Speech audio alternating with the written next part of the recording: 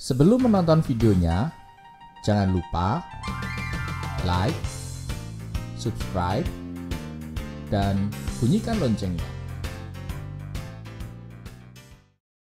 Hai teman-teman, jumpa lagi bersama saya KZP. Selamat tahun baru 2020. Pada kesempatan kali ini kita akan belajar tentang sebuah tepuk yang bermanfaat untuk memberikan motivasi, memberikan semangat kepada anak-anak di tahun yang baru. Nah, di tahun yang baru ini tentu saja kita juga harus memiliki ilmu-ilmu yang baru ataupun segala media belajar yang baru yang nantinya bisa kita ajarkan kepada anak-anak didik.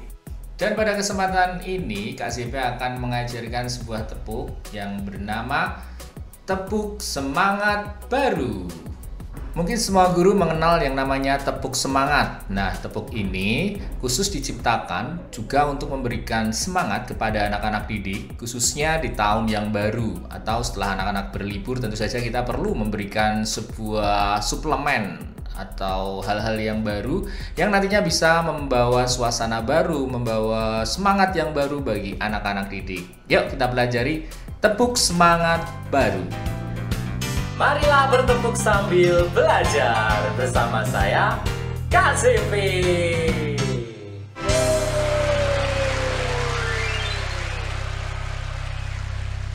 Tahun 2020 2020 tahun baru, semangat baru, makin cerdas, baik hati, dan ceria. Yes, yes. Semangat. Semangat. Kita coba sekali lagi yuk.